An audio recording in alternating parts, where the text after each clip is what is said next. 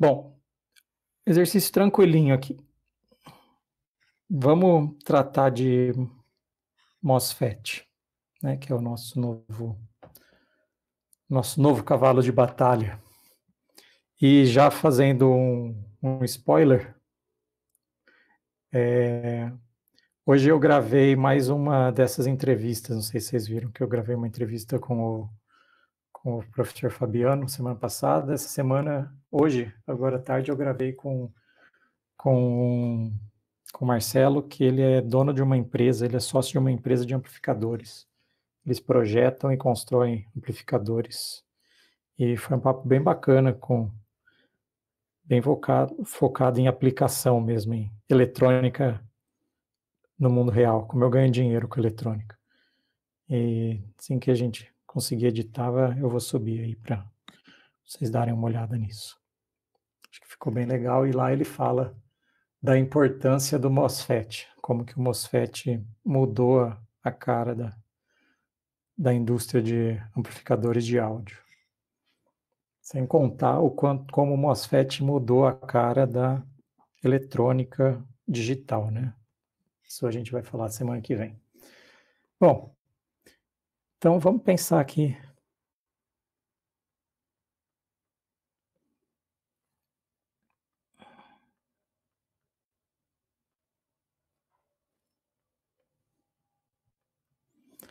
Um exercício um pouquinho diferente do que a gente tinha que a gente vinha fazendo até então.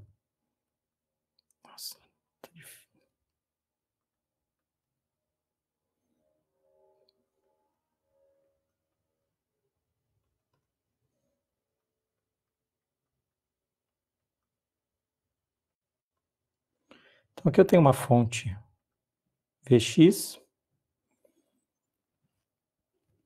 e eu falo que ela é, que eu, eu garanto para vocês, por alguma mágica, que esse transistor está em saturação.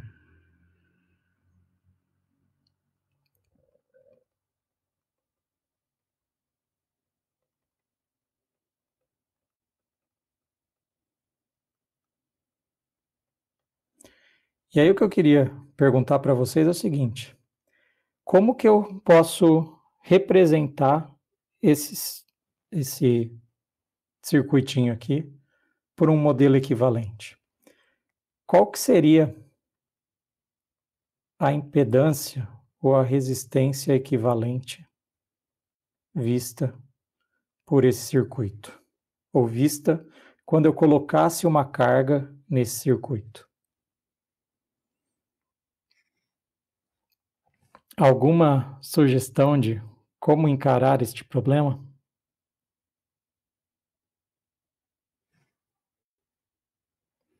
Então, repetindo, a ideia aqui é, é como se eu estivesse procurando um equivalente de TVNAM para esse circuito, mas não é um equivalente de TVNAM, porque ele não tem uma fonte aqui. Ele é só, ele é, nesse caso aqui, ele está como um circuito passivo. Mas eu quero um achar um circuito mais simples, um circuito linear, que descreva o comportamento desse transistor. Então, eu quero achar qual é a impedância que eu veria aqui nesse ponto. Professor, eu tentaria, fazer, eu tentaria fazer alguma coisa parecida com a gente fazia com o BJT, né? Não sei se Sim, e como que e qual que seria a ideia? É, coloca uma fonte, né, faz um modelo dele simplificado, é, uma fonte que você está forçando uma corrente, né, e vê o, o ramo, né, como é que fica. Perfeito. Os ramos, a análise deles. Uhum, é isso aí. É essa exatamente a ideia. Se a gente pegar ups, e colocar aqui uma fonte que eu conheço e aí olhar qual que é a corrente que vai passar aqui, eu vejo qual que é a impedância vista nesse ponto. Então é um modelo equivalente. E aí a gente, para fazer isso, a gente tem que usar o modelo do MOSFET. Então vamos lá, vamos usar o modelo de polarização aqui, tá? Porque esse, essa fonte é uma fonte de tensão contínua.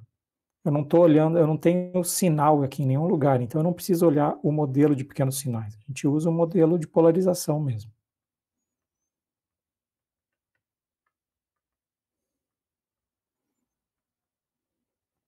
Então aqui eu tenho o meu gate. E o modelo de polarização do MOSFET, ele tem aquela descontinuidade entre porta e fonte, que é a, o capacitor, esse capacitor de controle aqui do MOSFET. E do outro lado ele tem uma fonte de corrente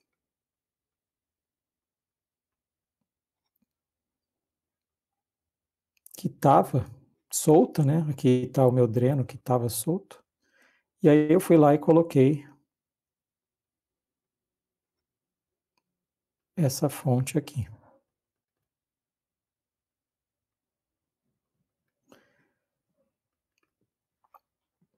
Qual que vai ser a corrente que eu vou ver nesse caso?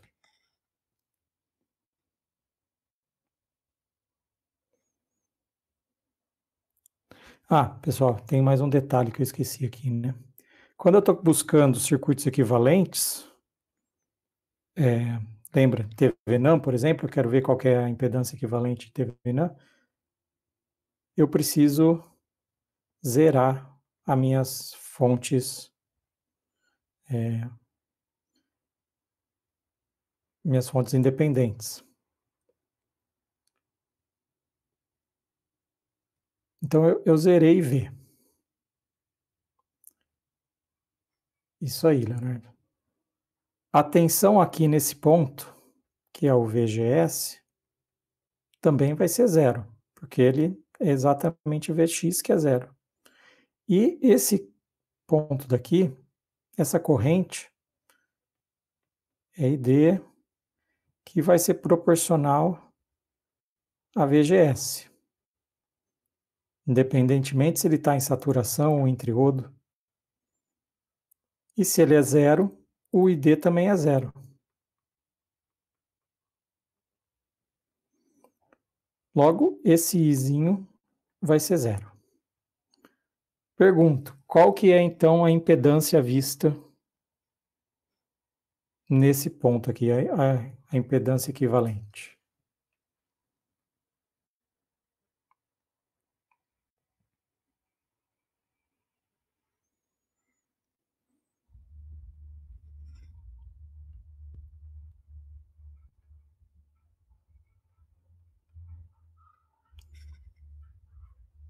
Se o i é zero, esse cara daqui vai tender a infinito. Então, esse daqui, essa configuração, ela idealmente é como se ela tivesse aqui uma impedância infinita no dreno. Isso tem uma aplicação que não existia no BJT. Então, por isso que eu queria falar sobre isso com vocês ele tem uma impedância infinita no dreno e depois tem outra coisa. Talvez vocês vão se lembrar e isso é o mesmo comportamento também do BJT, né? Quando ele está em saturação, o meu VGDS, meu, minha curva característica ID por VDS, ou seja, como eu, quando eu vario essa tensão aqui, a corrente, depois de saturar, ela fica constante. Se eu olhasse só a partir deste ponto aqui, que, que dispositivo, que componente, é, ou que elemento de circuitos tem essa característica de ter uma corrente fixa, independentemente da tensão que eu aplico.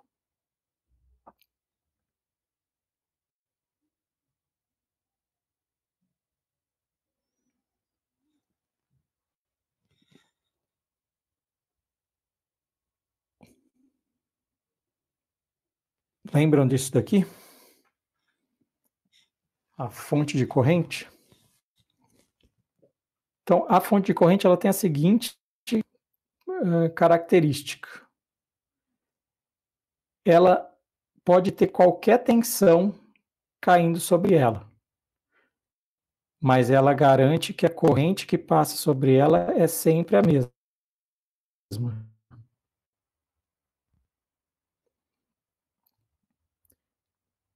É isso que está mostrando esse gráfico aqui. Ó. A partir de, nesse caso aqui é VDS, o VGS.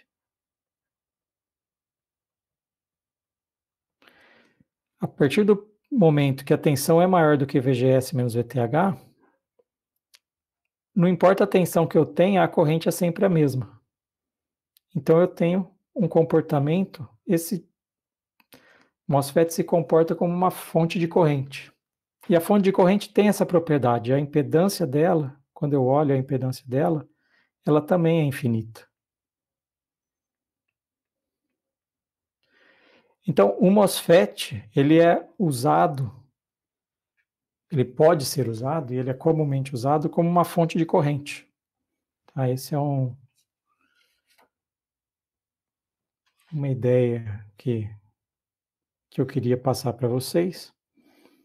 E aí, ele acaba, a gente... Por que, que isso é importante? Porque em muitas ah, situações, quando a gente estiver usando MOSFET, a polarização não vai ser feita com resistores, como a gente viu com o BJT. Então, aqui nesse exemplo, né, o BJT a gente teve que colocar um monte de resistor para polarizar ele.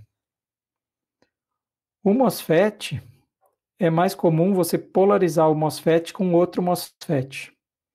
Então, você cria um MOSFET, você cria, você coloca um MOSFET adequadamente polarizado para funcionar como uma fonte de corrente e essa fonte de corrente aqui polariza um segundo MOSFET. Vou dar um exemplo.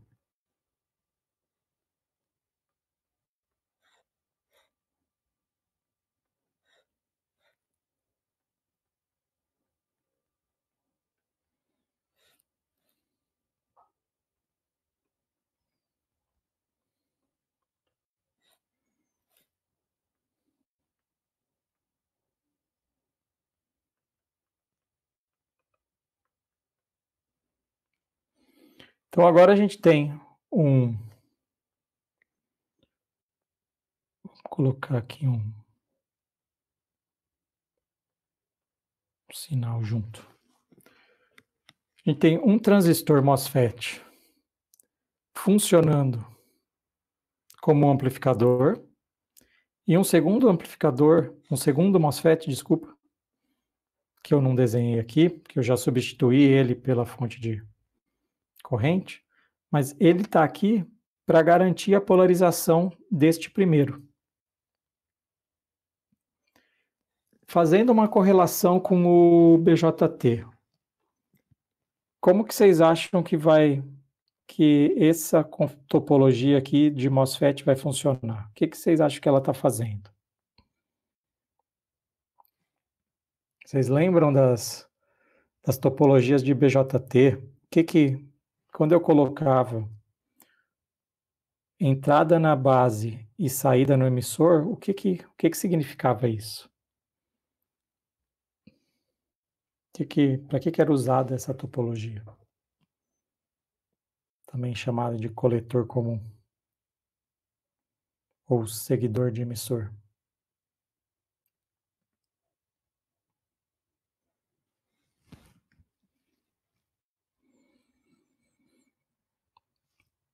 Essa é uma topologia muito importante para fazer casamento de impedâncias, tá, pessoal? Ela, ela é uma topologia que não tem ganho, ou o ganho dela é praticamente 1. Vocês vão lembrar. Mas ela tem uma impedância de entrada muito alta e uma impedância de saída muito baixa.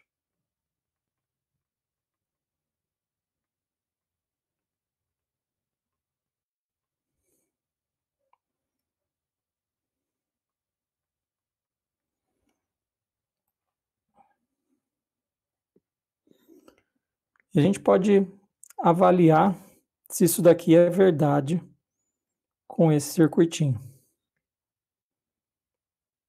Então, como que eu verifico, por exemplo, a impedância de entrada para esse circuito?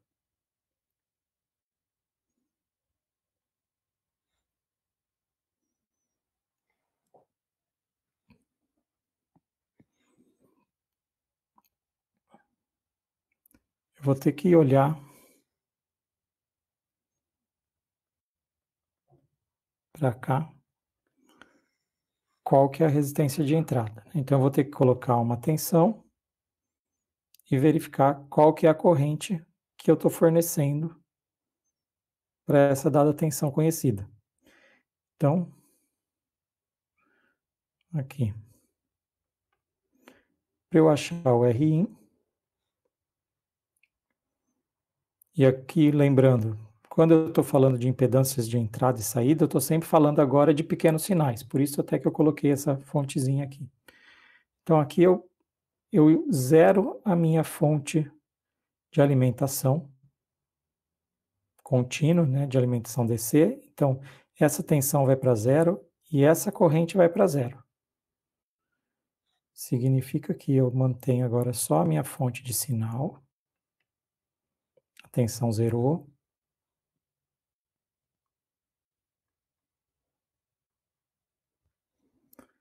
a minha fonte de corrente eu zerei. E uma fonte de corrente se torna uma chave aberta quando ela está zerada. E aí eu tenho aqui minha fonte de corrente, que no caso está aterrada, né? Porque eu, essa fonte de alimentação contínua eu também zerei. E aí eu tenho uma certa tensão, eu quero saber qual é a corrente que passa aqui. E essa é fácil de ver, né? Não tenho conexão com o terra, logo não tenho corrente. E essa corrente é zero e, portanto,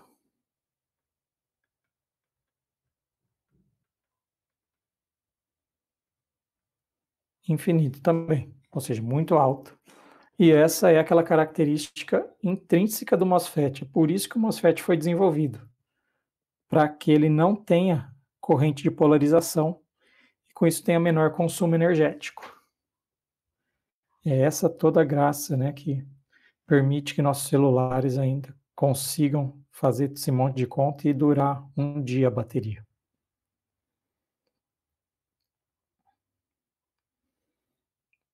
Professor, tem uma dúvida. Manda, Igor. Se essa tensão Vzinho, se Uhum. ela tivesse uma oscilação, tivesse um, um ômega, teria, circularia uma corrente aí por ser como se fosse um capacitor na, na base do transistor? Eu não, não vi todas as videoaulas ainda, então não sei Não, se tranquilo, mas tua pergunta é super, super boa. A re- melhor resposta que eu posso te dar é depende. Depende do quê? Depende da frequência. Em geral, para as frequências que a gente trabalha com o MOSFET, esse, essa capacitância aqui do óxido, ela, ela é tão alta que eu posso dizer que. Calma aí, a capacitância é tão baixa, desculpa, que eu não. Que ele vai continuar uma chave aberta.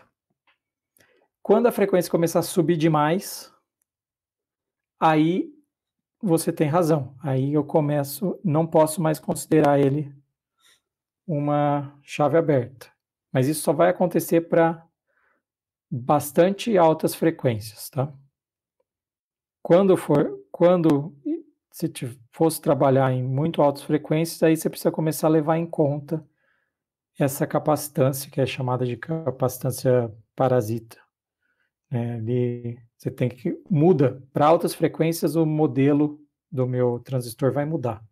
Então aqui vai aparecer uma um resistorzinho. A gente não está tratando disso agora. Entendi, professor. Obrigado. É, mais uma coisinha. É, No caso, quando a tensão ela oscila com uma certa frequência, pode circular uma corrente. Mas ela tem alguma, alguma característica especial para esse sinal? Tem que ser um senoidal? Ou, por exemplo, se for só um liga-desliga, se esse liga-desliga é capaz de circular corrente? Você, não sei se você já teve aula de sinais, análise de sinais. Provavelmente não. Não, não tive, né? Tá. Então eu vou, o que eu vou te falar agora é, uma, é um assunto de outra disciplina. É, já até também cenas do próximo capítulo aí do curso. Mas a gente pode descrever qualquer sinal. Isso tem um teorema aí do cara chamado Fourier, do século passado, retrasado, na verdade, que ele fala que qualquer sinal periódico pode ser descrito como soma de senoides. Então, não importa se o meu sinal é, é um liga-desliga, é uma onda triangular, é um dente de serra, o que, que ele é? Porque qualquer uma dessas formas periódicas, e depois a gente expande isso para não periódicas também, mas vamos ficar em periódicas que é mais simples. Eu posso interpretar elas como somas de senoides de diferentes frequências. Então, se eu provar que ele se comporta de uma certa maneira para uma frequência ou para uma faixa de frequência, eu posso expandir esse comportamento para qualquer outro tipo de forma de onda, tá? Então isso que esse é o core da da, da disciplina de análise de sinais. No fim das contas, um semestre é para entender isso. Você pode pegar qualquer sinal, decompor esse sinal em senoides, aí você analisa como esse senoide se comporta no, no sistema né? Esse, esse transistor aqui, esse transistor polarizado, ele nada mais é do que um sistema. E aí, quando eu sei como a senoide se comporta no sistema, eu sei como qualquer outra forma de onda se comporta. E a forma triangular ou liga-desliga, retangular, desculpa, no fim das contas ela tem é como se ela tivesse frequências baixas, médias e altas, todas juntos ali é, numa mesma onda, né? Então ele vai ter um comportamento misturado, dependendo ali. Pode ser que para para mais altas frequências ele isso esse capacitor como se ele tivesse fechado. Então ele vai ele vai deformar a minha forma de onda. Então, o que eu vou ver na saída não vai mais ser uma onda retangular bonitinha, vai ser uma onda. Por exemplo, vou dar um exemplo. Se você tem então uma retangular, aí eu passo para o meu sistema e para altas frequências ele, ele vira um fechado e eu tenho perdas. Então, o que eu vou observar na saída é algo um pouco mais é arredondado. Porque eu perdi minhas altas frequências. Então eu dei uma suavizada na minha onda.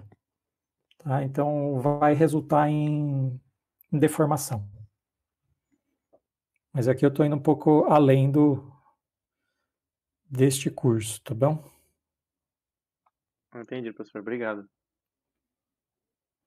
Mas eu acho que no começo do curso o Fabiano Acho não, eu sei que o Fabiano falou um pouco de funções de transferências e diagrama de Bode, não é? E, e, tem a ver justamente com isso aqui. Então, o, esse circuito ele vai se comportar de maneiras diferentes para frequências diferentes. E aí, dependendo do o sinal, eu decomponho em senoides de frequências diferentes. E aí eu sei que algumas frequências passam, outras não passam e isso deforma o meu sinal. Eletrônica tem disso, né? Eletrônica ela mistura muito, conceitos de muitos outros outros cursos. É uma uma disciplina agregadora no fim das contas.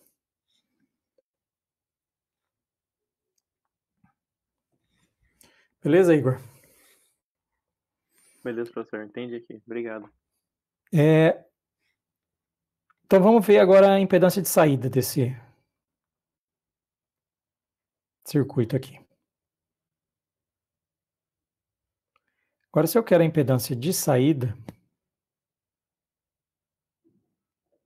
eu quero olhar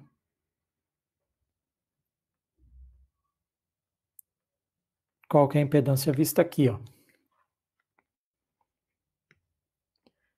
Aí eu vou fazer aquela, vou usar esse mesmo circuito, só que eu vou zerar a minha fonte de sinal e vou colocar aqui uma uma outra fonte para saber como que essa tensão gera qual corrente.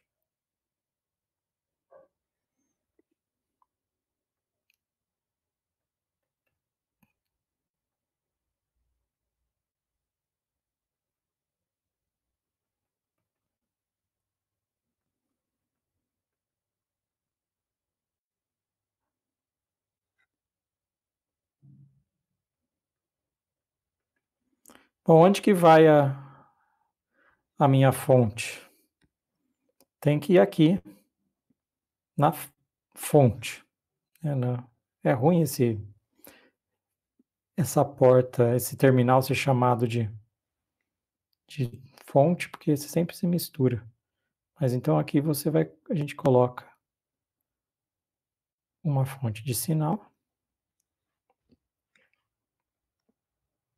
E a gente quer saber qual que é essa corrente aqui.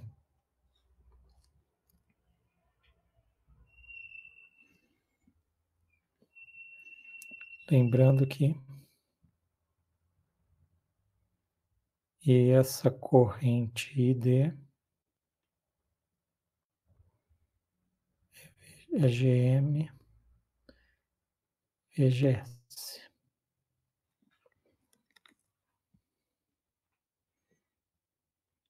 Então, notem. Atenção. VGS. Eu tenho que dar uma torcida aqui no meu, meu circuito, né? Mas isso daqui tá. Posso. Bom, lembrar que ele tá, como tá aterrado, né? Como se eu tivesse fechado esse circuito aqui, ó. Então eu estou falando que o VGS tem que ter o mesmo valor que Vzinho, só que invertido, né? Então, Vzinho é igual menos VGS. Todo mundo consegue ver isso daqui? Que nessa, nesse laço aqui, nessa malha, eu tenho que ver igual a VGS, mas só que eles estão em oposição de fase. E a minha corrente I, aqui não vai ter corrente. Apesar de ter tensão, não tem corrente. A corrente que vai passar aqui por essa fonte é a mesma corrente ID. Né? Então, I vai ser igual. Só que eu defini o I sa saindo, né, notação de fonte, então a, a, o i está indo para cima e o id está vindo para baixo. Então é menos gm VGS.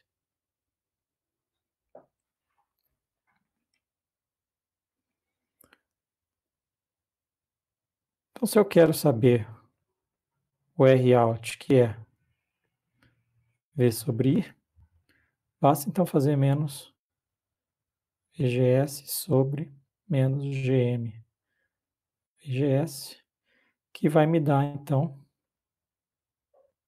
1 sobre GM. Então, essa daqui é a impedância do meu, impedância vista pelo meu, por uma carga na saída do meu uh, transistor. Então, aquilo que eu estava comentando. O RI, nesse caso aqui, tende a infinito. Muito alto. O R0 é 1 sobre GM. GM é daí da casa de 100 ohms, 100 siemens, quer dizer. Significa que ele vai ser aí menos de 1 ohm. Ele é pequeno. Então, esse, essa configuração aqui, ela é uma configuração que me garante uma impedância de entrada muito alta e uma impedância de saída muito baixa. E ela é usada para fazer acoplamento de impedâncias, tá? Então esse é o famoso casador de impedâncias ou buffer em inglês. Ele é o, um acoplador no fim das contas. E aí, só para a gente terminar aqui, fica faltando a gente calcular o ganho.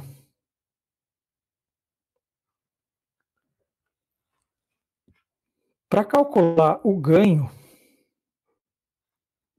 eu vou fazer uma, uma artimanhazinha aqui, só para facilitar a, a interpretação, tá? Então, só para te ver, quando eu for calcular o ganho, eu vou usar este circuito aqui, né? Eu tenho, vou deixar minha fonte, ver qual que é a tensão que vai estar tá saindo aqui. Só que como eu estou com a fonte de corrente, ela está nesse aberto, vamos fazer o seguinte, vamos colocar um resistor nesse ponto aqui e falar que é um resistor muito grande, só para a gente conseguir interpretar melhor. Então, vou redesenhar esse circuito. Então, qual é o ganho?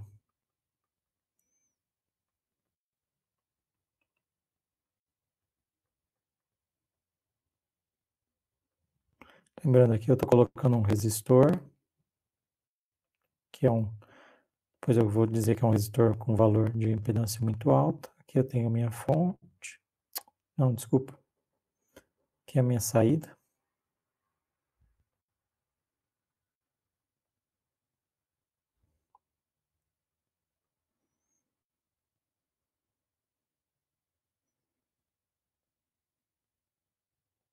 E esse aqui está indo direto para o terra. Então, eu quero, o que eu quero é saber, para essa tensão de entrada, qual que vai ser minha tensão de saída. E aqui dá para ver o seguinte. Meu VI, ele é igual VGS mais a tensão sobre o resistor. Vou anotar aqui. VI VGS mais R vezes a corrente que passa por ele. E qual que é a corrente que passa por ele? É ID.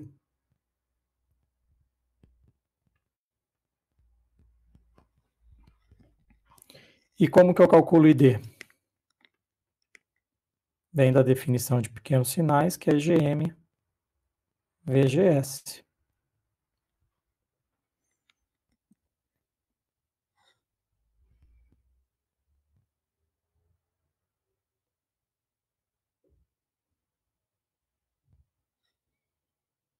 E qual que é a tensão de saída? A tensão de saída Vout vai ser igual ao R vezes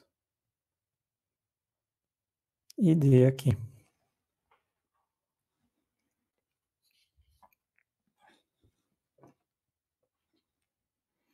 Então, eu posso dizer que meu ganho é tensão de saída, que é RD, eu vou substituir o ID, então fica R, VGS, dividido por VI. Deixa eu só deixar anotado isso aqui.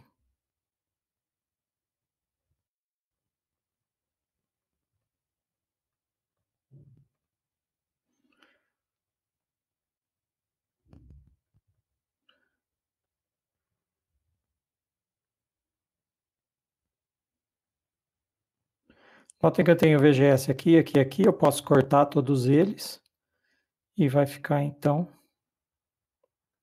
RGM por 1 mais RGM.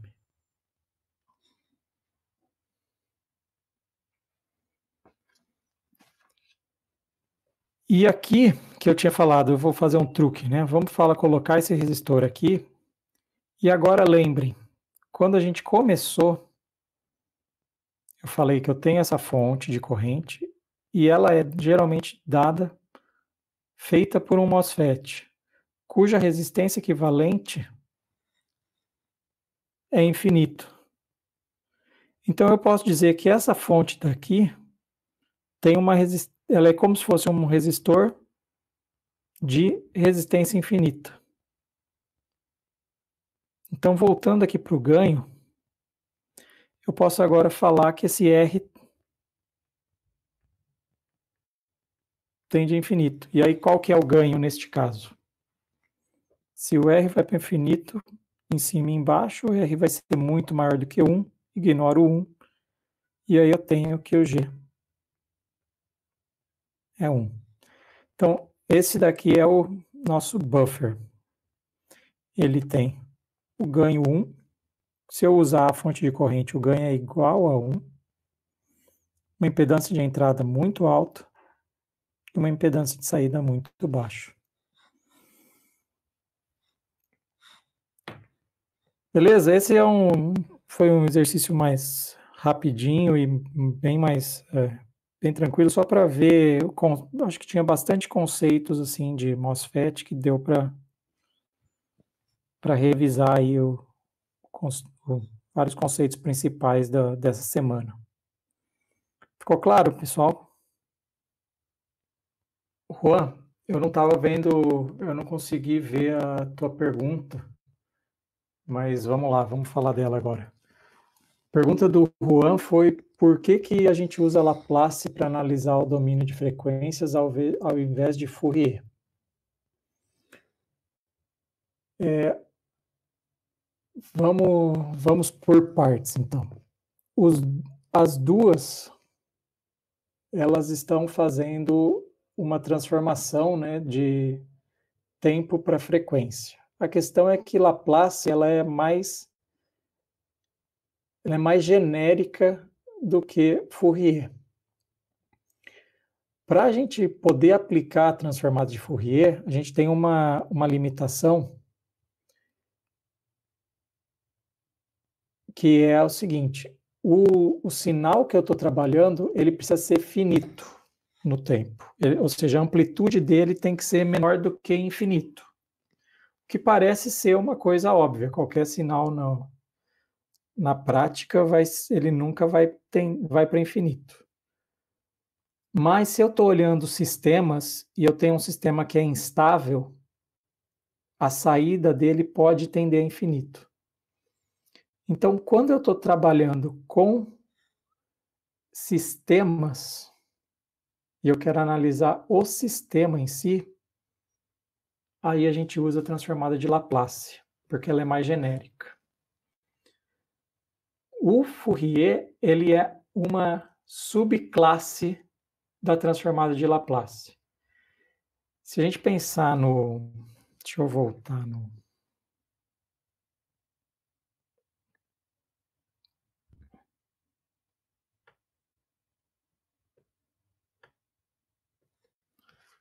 A gente tem que transformada de Laplace ela é dada para em função de S. Né? É. Esse S é um número complexo e ele, ele a gente diz que S ele é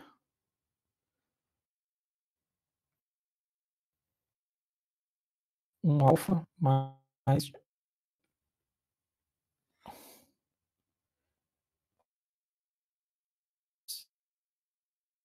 Tá.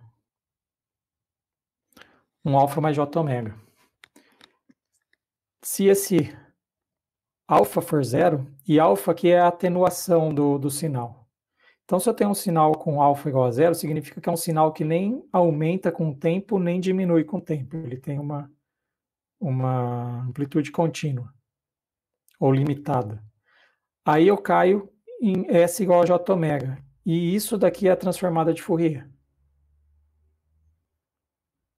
Agora, se tiver essa variação de, de alfa, aí eu estou na transformada de Laplace, no domínio S. Tá? Então, essa é a principal diferença.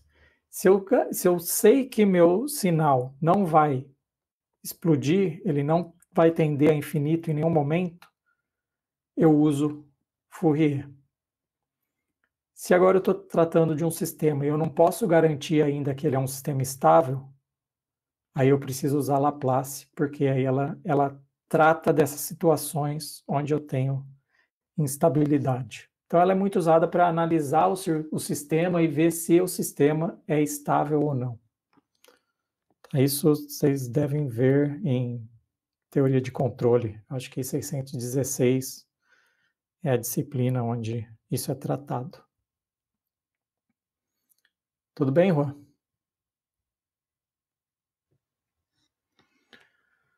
Beleza, pessoal? Então, acho que era isso por hoje.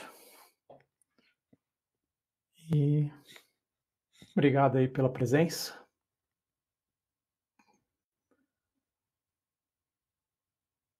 Nos vemos então na próxima semana.